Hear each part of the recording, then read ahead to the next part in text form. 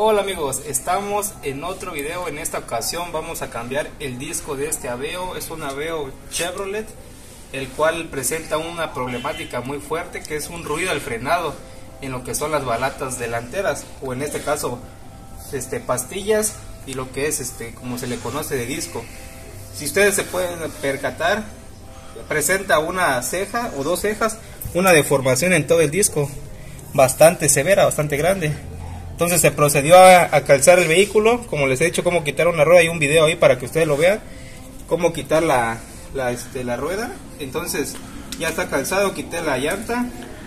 Para poder trabajar acá vamos a ocupar este dados y matracas de, de la medida 14 y 19 o 3 cuartos.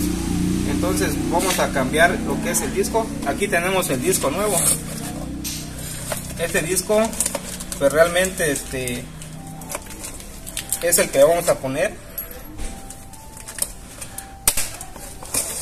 ustedes van a ver la diferencia de un disco nuevo a uno ya bastante dañado si se puede hacer es otra de las sugerencias es que se puede rectificar el que está acá pero recuerden que rectificar es un desgaste que le hacen al disco y hasta cierto límite porque hay una tolerancia. Cuando está muy delgado lo que puede provocar es que en un frenado muy brusco se llegan a romper los discos y eso sí va a provocar un grave accidente.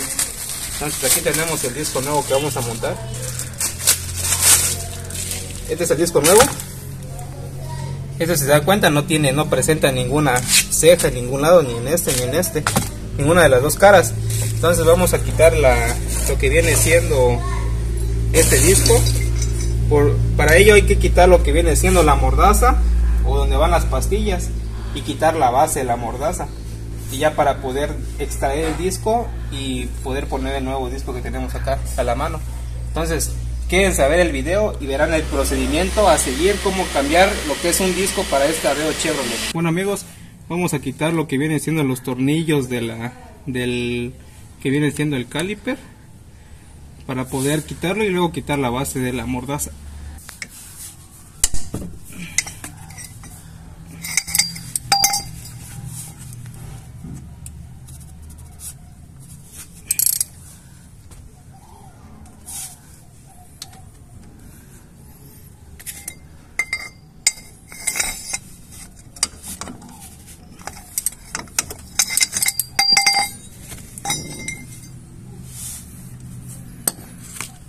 aquí estoy quitando lo que son los tornillos con un dado 14 milímetros y una matraca de 3 octavos para poder quitar los tornillos de la mordaza de este vehículo.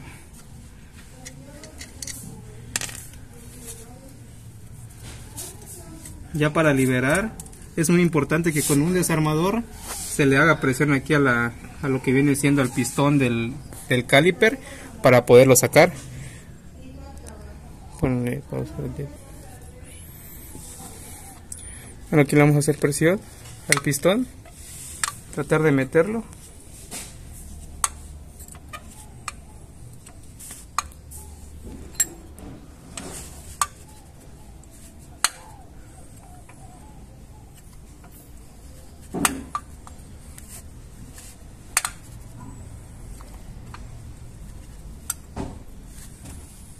Listo. Aquí tenemos todavía.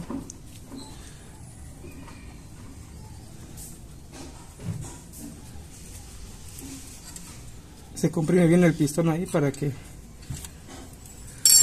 se pueda hacer el trabajo acá. Si ustedes ven ya se hizo el espacio para poder quitar el, el caliper.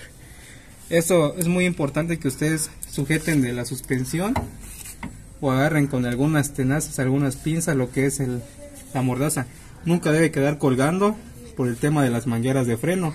Ya puede ser que se llegue a romper o se llegue a cuartear y quede con fuga lo que viene siendo el sistema de frenado y ahora sí que van a tener que reparar otro problema aquí por quedar ejerciendo presión lo que es la masa de la mordaza. En este caso como no tengo yo un este no tengo un gancho voy a ocupar un pedazo de cable para poder sostenerla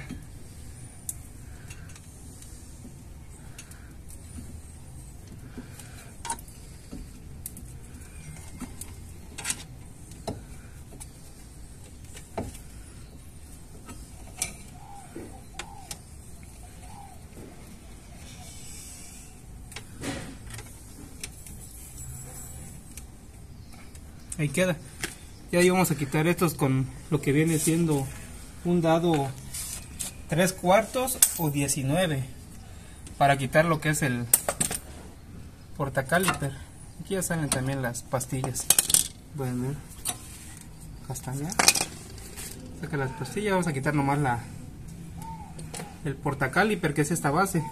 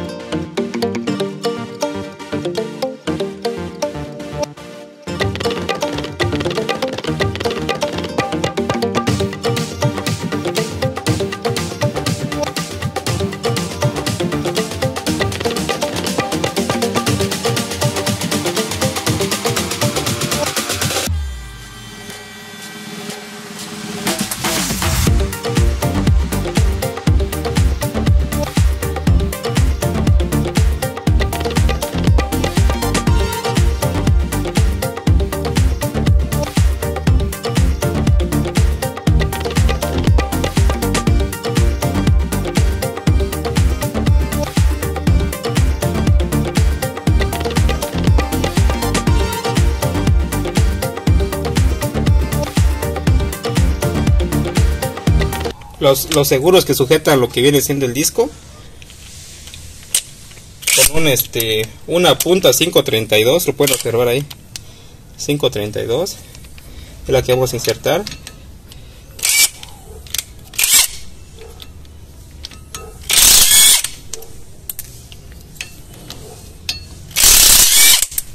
Listo.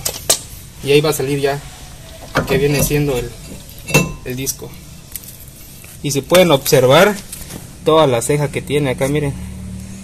Aparte de la que formó acá por el desgaste acá tiene otra una acá y otra aquí. Prácticamente desgastó de ambos lados lo que viene siendo el disco. Por eso se va a cambiar. Acabo de recalcar que si se puede rectificar no quiere decir que no tiene todavía un grosor considerable. Pero también tengan en cuenta que cuando rectifican desgasta a esta superficie y un poquito más para que quede lo más plano posible a lo que viene siendo al, al nuevo, a este. No debe haber ninguna deformación, ninguna ceja en el disco para volverlo a montar. Para que quede igual de la misma manera. Entonces, aquí el cliente mejor lo que va a hacer es cambiarle a una nueva para evitar riesgos a largo plazo y no tenga ningún problema de, de algún este un percance por no cambiar los discos. Ya que son los delanteros pues realmente son los del frenado más este eficiente. Y si y como son de dirección las ahora que las, ruedas delanteras pues sí puede ser un, un, percance fuerte. Entonces mejor se le va a poner un disco nuevo. Y esa es la manera de cómo quitar lo que viene siendo el disco. Ahora vamos a proceder al montaje que es lo mismo pueden observar ahí nomás que coincida lo que es el el tornillo para poderlo poner de nuevo.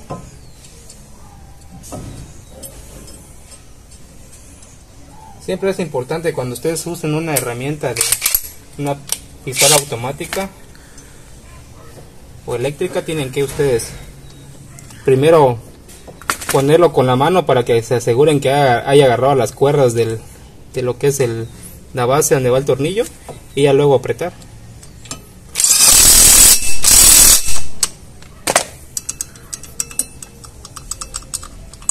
Ahí está, listo. Ahí quedó. Y vamos a poner otra vez el que viene siendo el caliper.